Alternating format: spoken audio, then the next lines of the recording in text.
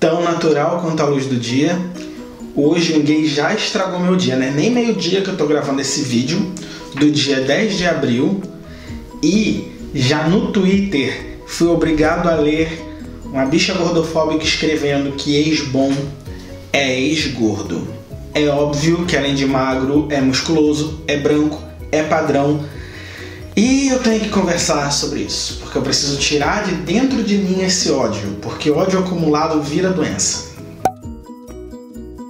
Antes de falar desse garoto específico e do quanto essa fala é problemática, eu quero dizer sobre quem criticou ele, porque bastante gente criticou esse cara. Eu acho ótimo, eu acho que ele merece crítica sim. Porém, você que criticou ele no Twitter, será que você fez porque critica esse comentário ou porque todo mundo estava criticando? O seu amigo que faz esse comentário fora da internet, vocês estão numa balada, vocês estão conversando no WhatsApp, vocês estão num bar, ele fala isso. O clima fecha e você corrige ele, você fala para de falar merda, seu babaca? Ou você só é capaz de criticar uma pessoa, de combater a homofobia, de ir contra esses privilégios que às vezes você até tem, mas luta contra quando todo mundo está fazendo? Porque o real aliado, ele não é aliado só quando tá num efeito de manada e todo mundo tá indo fazer junto. O real aliado ele é capaz de sacrificar um momento bacana com um monte de gente privilegiada igual a ele para colocar em pauta um assunto de alguém que de repente não tá lá. Então, um amigo seu que debocha de pessoas gordas que fala, que bom que meu ex engordou, você também critica ele quando não tem ninguém vendo? Eu acho importante a gente pensar nisso. Não estou dizendo que todos, eu sei que tem muita gente bacana aí mas eu sei que muita gente, se ouvisse um comentário desses, às vezes ia até rir. Não ia nem pensar em corrigir a pessoa. Dito isso, vamos a todos os problemas desse garoto. Primeiro, essa pessoa tem mais de 30 mil seguidores no Twitter.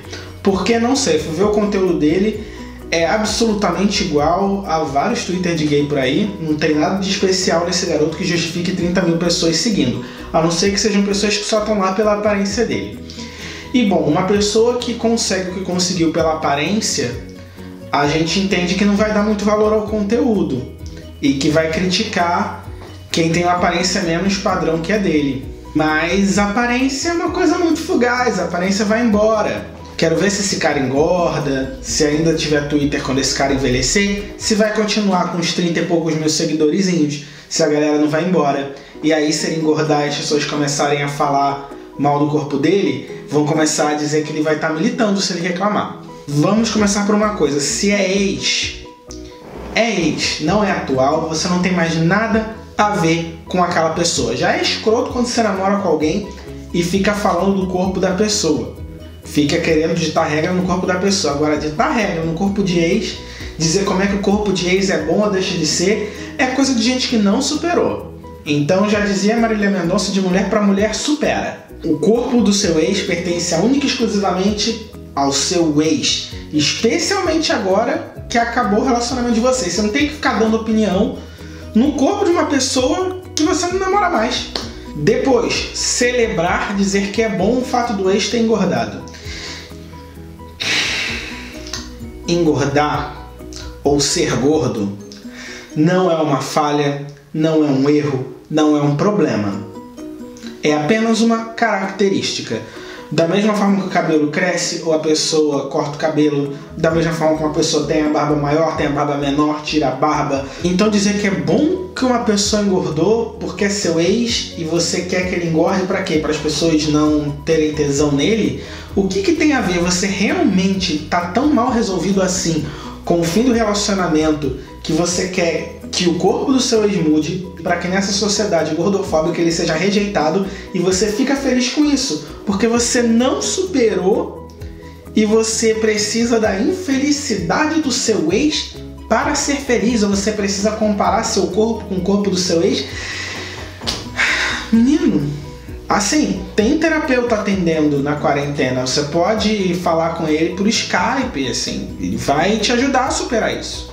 Outra coisa, a pessoa que tá ficando com você agora, não sei se alguém tá ficando com você porque você parece ser uma pessoa bem desagradável, mas como eu vi muita gente só se importa com aparência, por isso que você tem esse tanto de seguidor no Twitter, então não importa você ser uma pessoa tão desagradável, provavelmente vai ter alguém querendo ficar com você. Mas a pessoa que tá com você sabe, e você sabe que a pessoa que tá com você só está com você por causa de aparência, ou seja, aconteceu alguma coisa, você não conseguiu mais ir na academia, você ficou ansioso e começou a comer mais, mudou alguma coisa hormonalmente no seu corpo, você começou a engordar. Você sabe que é só isso que precisa para o seu relacionamento acabar, né? E a pessoa que está com você sabe que é só isso que precisa para você terminar com ela, né? Eu até entendo você começar a atração por uma pessoa pela questão física. Acontece, a gente olha para uma pessoa, a gente vê primeiro a física. E existem todas as questões gordofóbicas, mas no fim das contas a gente está com uma pessoa não pela aparência, a gente escolhe namorar, casar com uma pessoa, a gente se apaixona por uma pessoa pela personalidade dela.